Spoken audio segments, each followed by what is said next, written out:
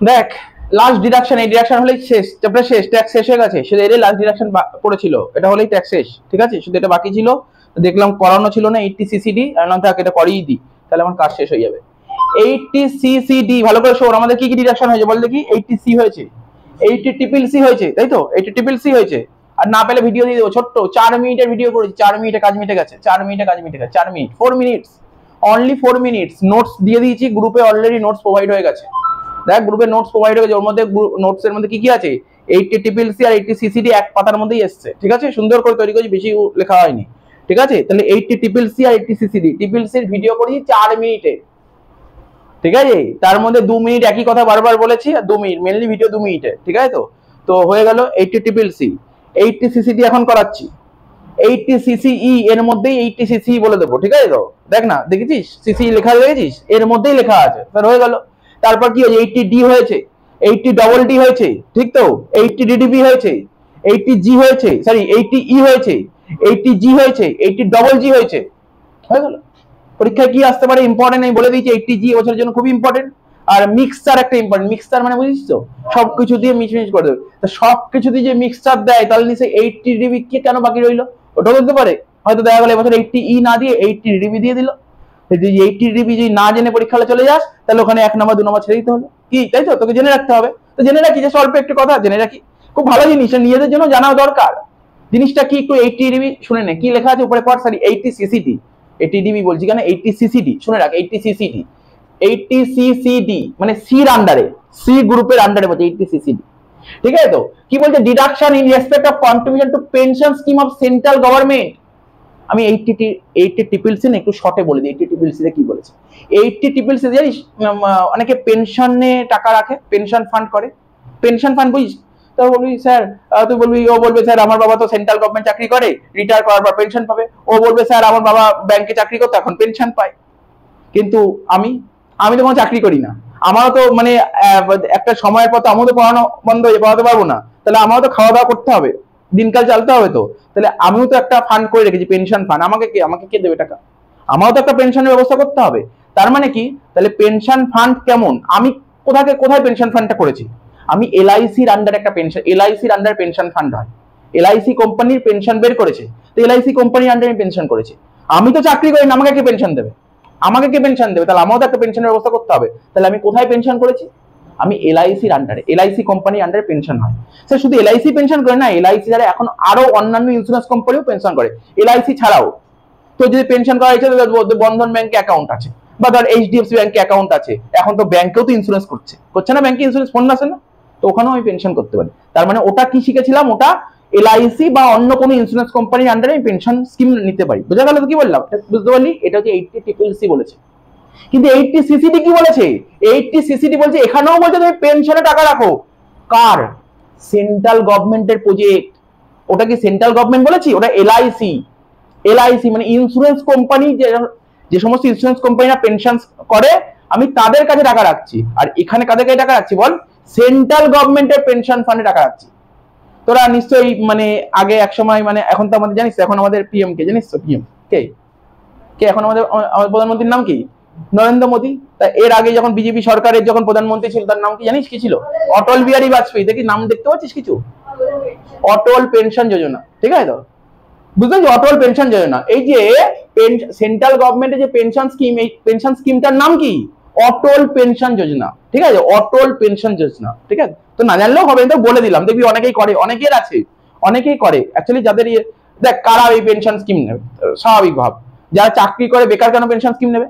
ও তো এমনি পেনশন পাবে। যারা চাকরি করেন তার পেনশন স্কিম নিতে পারে। কিন্তু তারা এই অটল পেনশন যোজনায় কেউ নিতে চায় না, কারণ অনেক কম টাকা, অনেক কম টাকা।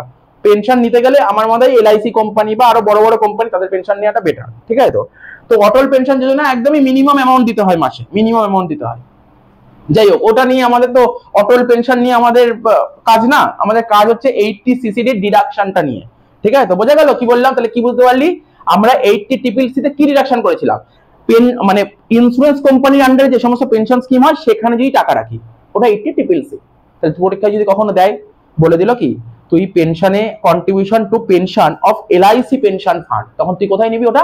এইটটি ট্রিপল সিতে এবার দেখবি অনেকে পেনশন যেমন ধর যেমন ধর আমার কোথায় পেনশন করা যায় পেনশন স্কিম করে রেখেছি, ধর জীবন অক্ষয় বলে একটা আছে, জীবন অক্ষয়টা এলআইসির আন্ডারে জীবন নিধিতে করা আছে, ওটা এলআইসির আন্ডারে তাহলে বুঝতে পারলি? এটা বড় বড় পলিসি জীবন সুরক্ষা হয় তো এইগুলো সমস্ত এলআইসির পেনশন স্কিম আছে এলআইসির টাইম টু টাইম দেখ, আমি যখন করেছিলাম জীবন নিধি, পরে এসে জীবন অক্ষয় এরকম টাইম টু টাইম দেখ, যত দিন যায়, তত ভালো ভালো প্ল্যান আসে। বুঝতে পারলি তো? আর যারা ইন্স্যুরেন্সের এজেন্ট হয়, তারা তো বলে, না না, ওই প্ল্যানটা ভালো না, এখন তুমি এই প্ল্যানটা নাও। ওর তো, ওরা হলে ওদের একটা কমিশন হবে, তো ওরা বলতেই থাকবে। তো বুঝতে পারছিস তো? তো যে কথাগুলো বলছি, তাহলে যেটা বলছিলাম এইটটি সিসিডি কি বলছে? সেন্ট্রাল গভর্নমেন্টের যদি কোনো পেনশন স্কিম নেই তাহলে সেটা সেন্ট্রাল গভর্নমেন্টের পেনশন স্কিমে যদি টাকা রাখি, তাহলে সেটা কোথায় আসবে? এইটটি সিসিডি তে ছাড় পাওয়া যাবে। Basically Atal pension Yojana. বোঝা গেল? এবার কি বলছে? এসএসসি এসএসসি কে? এসএসসি কে? আরে, আমি ইনকাম করি, আমি গভর্নমেন্টকে ট্যাক্স দেবো আমি এসএসসি বোঝা গেল? স্যার, বুঝতে পেরেছি। আচ্ছা দু রকমের মানুষ তো দেখা যায়। কি, ক রকমের মানুষ দেখতে পারি আমরা? বল, দু রকমের মানুষ। স্যার, কীরকম দু রকমের মানুষ? কেউ চাকরি করে আর কেউ চাকরি করে না। যেমন কি, ধর আমি তো চাকরি করি তাহলে আমি কোন পার্সেন্টের মধ্যে পড়ি? আমি সেলফ এমপ্লয়েড হ্যাঁ না? আমি সেলফ এমপ্লয়েড মানে যারা চাকরি করে, তারা কারোর আন্ডারে কাজ করে সার্ভিস কেউ সার্ভিস করে, আর কেউ সার্ভিস করে না। ঠিক আছে? যে সার্ভিস করে, সে কি বোঝা থাকে? কেউ বিজনেস করে, কেউ প্রফেশনের আন্ডারে পড়ে। কি, বুঝতে পারছিস? স্যার বুঝতে পেরেছি। এটা সেলফ এমপ্লয়ি যেমন আমি সেলফ এমপ্লয় যেমন ধর, ওর ওর বাবা বিজনেস করে সেলফ এমপ্লয় বুঝতে পারছিস তো? এবার তোর বাবা চাকরি করে, তোর বাবা তো সেলফ এমপ্লয়ের মধ্যে পড়বে না, তাহলে কি হবে? এমপ্লয়ির মধ্যে পড়ে যাচ্ছে। তাহলে বুঝতে পারছিস ব্যাপারটা? তাহলে কি? একটা হচ্ছে সেলফ এমপ্লয়ি আর একটা এমপ্লয়ি ঠিক আছে? বোঝা গেল? প্যাটার্নটা দেখ, আমি যে নোট দিয়েছি নোটে তো বড় করে লেখা আছে। ওইটাকে আমি সামারাইজ করে দিয়েছি, যাতে পুরো, দেখ, পরীক্ষার আগে তুই এই চারটা দেখে একবার চোখ বলে চলে যাবে, আর কি দেখতে হবে না। ওটাও না পড়লে চলবে, এটা চোখ বলারই হয়ে যাবে। কি লেখা আছে? সেলফ এমপ্লয়ি আর একটা এমপ্লয়ি বোঝা গেল? স্যার, বুঝতে পেরেছি। সেলফ এমপ্লয় আচ্ছা এখানে যে ডিডাকশনের তিনটে সেকশন বলা হয়েছে, ভালো করে শুনবি। Eighty CCD one eighty CCD two আর এইটটি সিসিডি ওয়ান বি সবকটাই জানতে হবে। ছোট করে বলেছি তাহলে কি বললাম সিসিডি ওয়ান সিসিডি টু আর CCD one B one two one B one two one B কি বললাম? ওয়ান টু ওয়ান বি ঠিক আছে তো? তাহলে এইটটি সিসিডি ওয়ানে কি বলেছে? ভালো করে শোন। সেলফ এমপ্লয়ি সেলফ এমপ্লয় মানে আমি আমার কথা বলছি, আমি সেলফ এমপ্লয় তাহলে আমারও ইচ্ছা হয় যে সেন্ট্রাল গভর্নমেন্টের যে পেনশন ফান্ড আছে, ওখানে আমি টাকা কন্ট্রিবিউট করব। করতেই পারি, করেছি, টাকা কন্ট্রিবিউট করেছি। কি বলছে স্যার কত টাকা ডিডাকশন পাওয়া যাবে? বলছে ডিডাকশন লোয়ার লোয়ার মানে কি, যেটা দুটো পয়েন্ট বল, তখন যেটা ছোট। কি কি? যত টাকা কন্ট্রিবিউট করেছি আমি পেনশন স্কিমে যত টাকা আমি জমা দিয়েছি, যত টাকা সারা বছর জমা দিয়েছি। আর কি লেখা এটা? Twenty percent of GTI GTI full form তোরা সবাই জানিস গ্রস টোটাল টোয়েন্টি পার্সেন্ট তাহলে হুইচ ওয়ার ইজ লোয়ার বোঝা গেল কি বলেছি? কি বলেছি বল? আমি আমি আমার কথা বলছি। আমি ভাই, আমি টিউশন করি, প্রতি মাসে ইনকাম করি, যা ইনকাম করি, আমি আমি একটা সেন্ট্রাল গভর্নমেন্টের পেনশন স্কিম আছে, সেখানে আমি টাকা ফেলি আমি কত টাকা ডিডাকশন পাবো? বলছে যে যত টাকা কন্ট্রিবিউট করেছি, আর twenty percent of GTI whichever is lower এত টাকাই ডিডাকশন পাবো। এটা আমার কথা বললাম। কার কথা বললাম? আমার কথা মানে সেলফ এমপ্লয় এখন তুই বলি স্যার, আমার বাবা ব্যবসা করে, আমার বাবার ক্ষেত্রে অ্যাপ্লিকেবল হ্যাঁ তোর বাবার ক্ষেত্রে অ্যাপ্লিকেবল এটা। তো বোঝা গেল কি বললাম? সেলফ এমপ্লয় স্যার, বুঝতে পেরেছি। এটা হচ্ছে সিসিডি ওয়ানের মধ্যে পড়ে। এটা সিসিডি ওয়ান বোঝা গেল? সিসিডি ওয়ানের মধ্যে কারা পড়ে? সেলফ এমপ্লয়ি এবার হচ্ছে এমপ্লয়ি এমপ্লয়ি যারা চাকরি করে, যারা চাকরি এমপ্লয়ি কাদের বলে? যারা চাকরি করে, তাদের তো এমপ্লয়ি হ্যাঁ স্যার এমপ্লয়ি যারা চাকরি করে। এই যে এমপ্লয়ি যারা চাকরি করে, যারা চাকরি করে, আমরা প্রভিডেন্ট ফান্ড করেছিলাম, মনে পড়ে তো? কন্ট্রিবিউশন ওন আমার, আমি তো চাকরি করি, আমার পকেট থেকে মানে আমি তো মাসে মাসে যা স্যালারি পাবো, আমার থেকে টাকা কাটবে। আমার মাইনা থেকে টাকা কাটবে, আবার মালিকও দিয়ে দেবে। এখানে কি লিখেছে? ভালো করে দেখ। ওন কন্ট্রিবিউশন আবার employer contribution own contribution employer contribution ভালো করে বুঝবি? ওন কন্ট্রিবিউশন আর এমপ্লয়ার কন্ট্রিবিউশন সাপোজ স্যার আমি মনে করছি আমি টিসিএস কোম্পানিতে চাকরি পেয়েছি, আমি চাকরি করছি। তাহলে আমি পেনশনে টাকা রাখব সেন্ট্রাল গভর্নমেন্টের পেনশন স্কিমে টাকা রাখব। তাহলে টাকাটা কার থেকে কাটবে? আমার থেকে টাকাটা কাটবে। আমার থেকে টাকাটা কাটবে ওন কন্ট্রিবিউশন আমি নিজে কন্ট্রিবিউট করছি। সেক্ষেত্রে ডিডাকশন কত পাওয়া যাবে? যত টাকা কন্ট্রিবিউট করেছি। কি বললাম? যত টাকা কন্ট্রিবিউট করেছি। আর কি? আর কি দেখ, যত টাকা কন্ট্রিবিউট করেছি, আর কি লেখা আছে? টেন পার্সেন্ট অফ স্যালারি কি লিখলাম? টেন পার্সেন্ট অফ স্যালারি বোঝা গেল? কি বললাম? কি লিখলাম? কি লেখা আছে এখানে? টেন পার্সেন্ট অফ স্যালারি এবার বলি স্যার স্যালারি মানে কি? স্যালারি মানে আমরা কত বলব? রিটায়ারমেন্ট বেনিফিট করেছিলাম? গ্র্যাচুইটি করেছিলাম লিভ স্যালারি করেছিলাম, আমরা পেনশন করেছিলাম, আমরা প্রভিডেন্ট ফান্ড করেছিলাম। ওখানে স্যালারি বলতে কি বোঝানো হয়েছিল? Sir basic plus DA plus commission on sale fix percentage শুধু কমিশন বললে হবে না। ফিক্স পার্সেন্টেজ দেখ না, সুন্দর করে লিখে দিয়েছি। স্যালারি মানে কি? স্যালারি মানে basic plus DA plus commission তাহলে বুঝতে পারলি এখানে? মনে রাখতে পারবি তো? কিছু না, শুধু এইটুক চার্ট করে চলে যাবি, ব্যাস। যদি আসে, তুই এমনি ইজিলি পেরিয়ে যাবি। ঠিক আছে? আমাদের পিডিএফ তে অঙ্ক আছে। সিসিডির উপর অঙ্ক আছে, কিন্তু বড় বড় অঙ্ক আছে। বড় বড় অঙ্ক মানে সিসিডি শুধু দেবে না, ওই এইটটিসির অনেক অঙ্ক দেবে। এইটটিসির অনেক আইটেম থাকবে। তার মধ্যে এইটটি টিবিলসের একটা আইটেম থাকবে সিসিডির একটা আইটেম থাকবে। এই এরকম অঙ্ক আছে। পিডিএফ খুলবি আছে? পিডিএফ আছে। প্রথমেই, একদম প্রথমে আছে। ঠিক আছে? তো না পেলে আমাকে বলে আমি দেখিয়ে দেবো। তাহলে এটা বোঝা গেল ওন কন্ট্রিবিউশন হ্যাঁ কি না বল। বোঝা গেছে তো? এবার কি হলো? ওন কন্ট্রিবিউশন মানে কি? আমি চাকরি করছি টিসিএস কোম্পানিতে আমি কন্ট্রিবিউট করেছি। বোঝা গেল? আমি টিসিএস কোম্পানি চাকরি করছি, মালিক কন্ট্রিবিউট করেছে। মালিক টিসিএস কোম্পানির মালিক পেনশনে আমার নামে টাকা ফেলে দিয়েছে। মালিক কন্ট্রিবিউট করেছে। তোরা স্যালারি করেছিস। আমরা স্যালারিতে কি শিখেছিলাম? মালিক যে টাকাটা দিয়ে দেবে সেটা কোথায় আসে? স্যালারিতে আসতো? মনে পড়ছে না? আমরা কি বলছি পার্কুইজ কাকে বলে? পার্কুইজ কাকে বলে? যদি কোনো রকমের বেনিফিট পাওয়া যায় মালিকের থেকে, সেটা তো পার্কুইজ বলেছিলাম তো?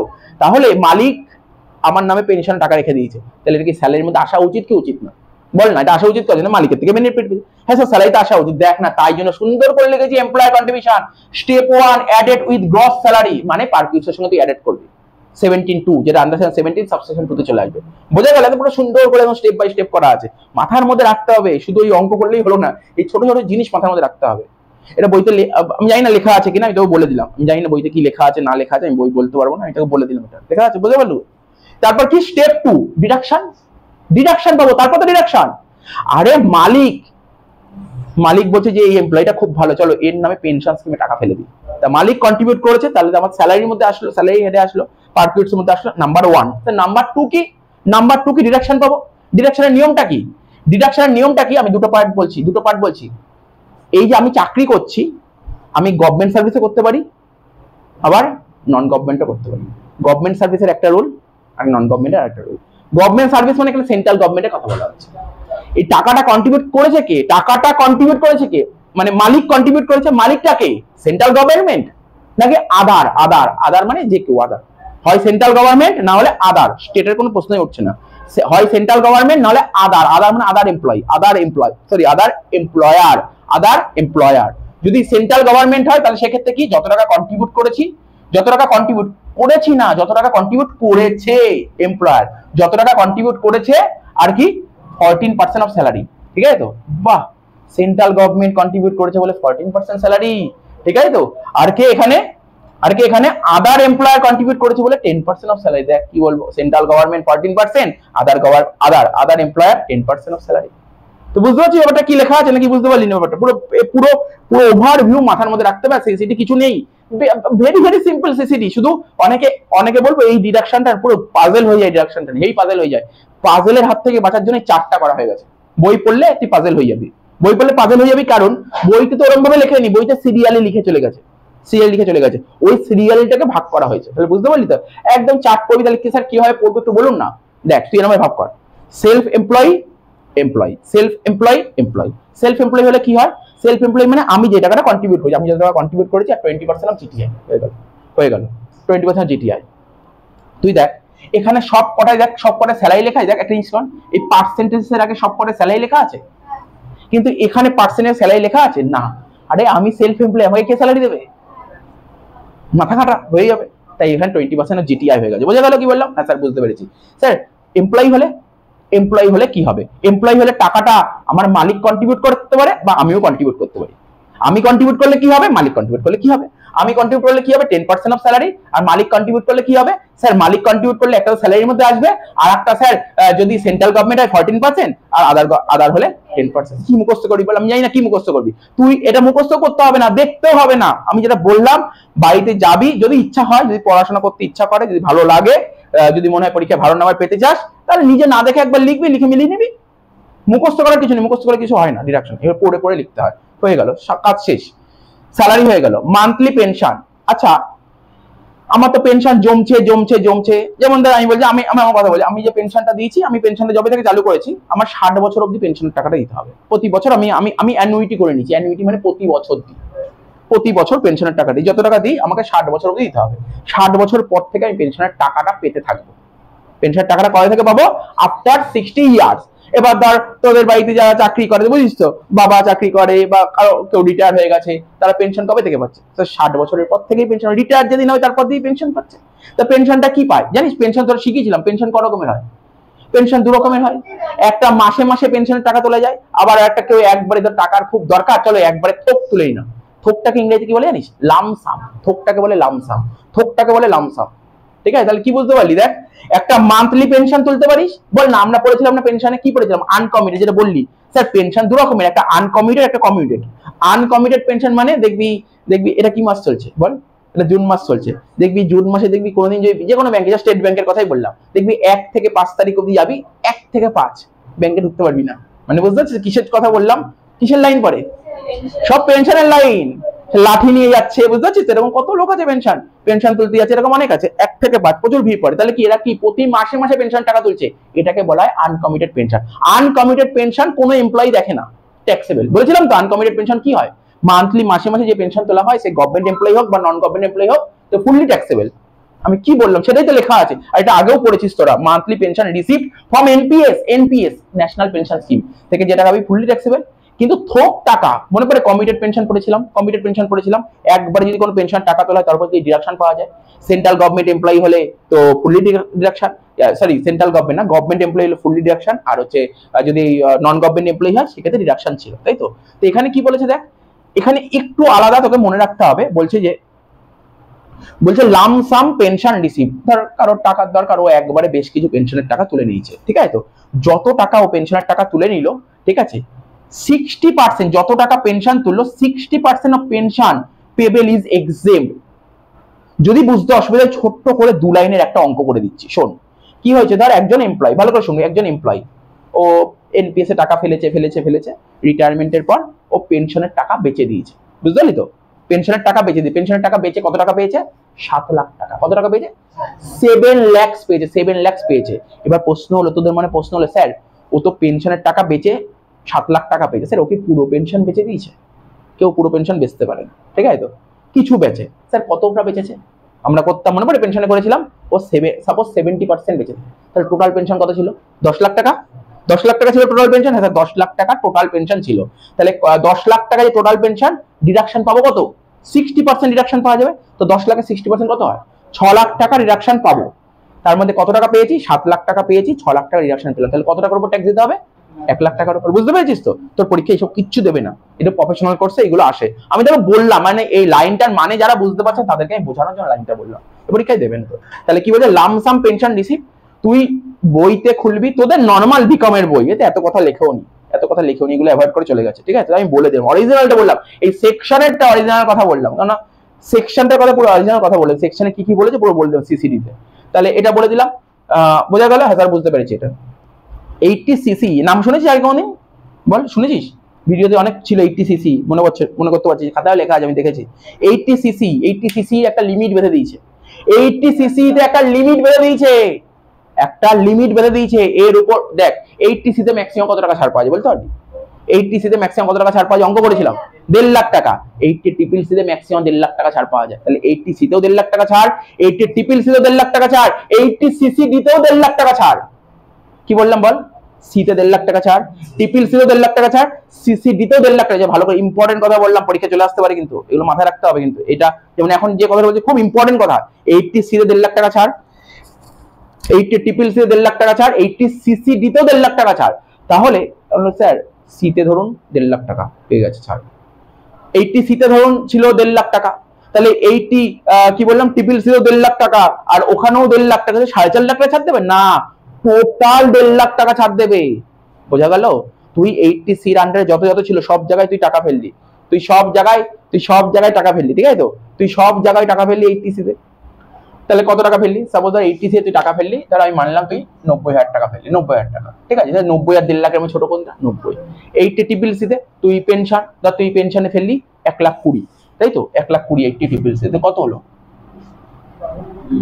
তো? দু লাখ দশ আর এইটটি সিসি ডিতে ধর ওখানে ধর ওখানে ধর এক লাখ দশ ফেললি। তিন লাখ কুড়ি। তাহলে তিন লাখ কুড়ি তো তুই তুই বলিস তিন লাখ কুড়ি পাওয়ার কথা? কিন্তু তুই পেলি কবে? দেড় লাখ টাকা। এটাই বলছে সিসিতে সিসিতে তোকে একটা সিলিং বেঁধে সিলিং বেঁধে সিলিং এটাকে বলে ম্যাক্সিমাম সিলিং সিলিং বেঁধে কত? তুমি দেড় লাখ টাকার বেশি নিতে পারবে না। এইটটি সি ট্রিপল সি আর কি বললাম? সিসিডি তিনটে মিলিয়ে দেড় লাখ টাকা দেখ, তাই লিখেছি। Under section eighty CCE maximum deduction allowed in aggregate in aggregate মানে total under section eighty C eighty triple C eighty CCD one sir one আপনি সিসিডি বললেন। বলছি, আমি তো তখন, ঠিক আছে এইটটি সিসিডি ওয়ান টোটাল কত টাকা ছাড় পাওয়া যাবে? দেড় লাখ টাকা।